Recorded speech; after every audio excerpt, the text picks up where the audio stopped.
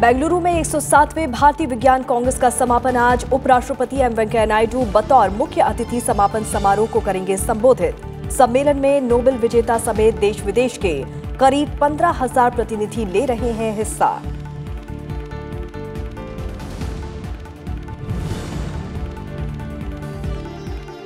College परिसरों को हिंसा और नफरत का अखाड़ा नहीं बनाया जाना चाहिए। बेंगलुरु में राष्ट्रीय मूल्यांकन और प्रत्यायन परिषद यानी कि नेक की रजत जयंती समारोह में उपराष्ट्रपति एम वेंकैया नायडू का संबोधन, अदम्य चेतना ग्रीन किचन का भी किया दौरा।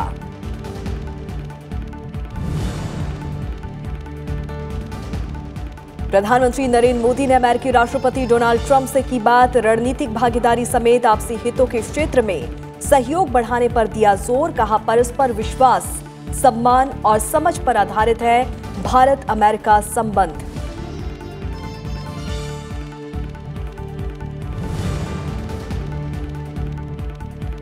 अमेरिका का ईरान के विदेश मंत्री को वीज़ा देने से इनकार, अमेरिका ईरान के बीच जारी तनाव के बीच ब्रसल्स में नाटो देशों की बैठक। ईरान को हिंसा और उकसावे की कार्रवाई से बचने की सलाह।